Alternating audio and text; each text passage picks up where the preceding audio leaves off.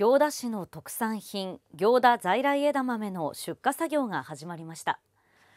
この枝豆を広く知ってもらうため今年から新たに咲田豆というネーミングで販売します。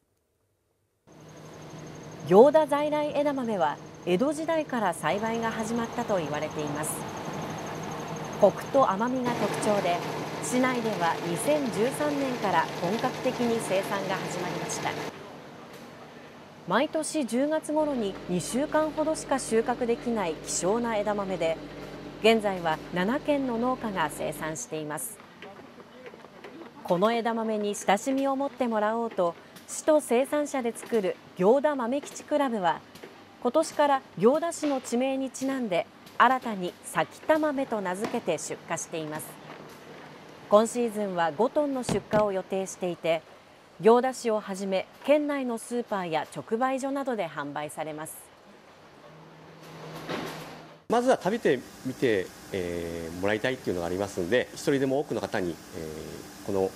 風味と、えー、香り、えー、が特徴でありますので、えー、それを知ってもらいたいなと思っております。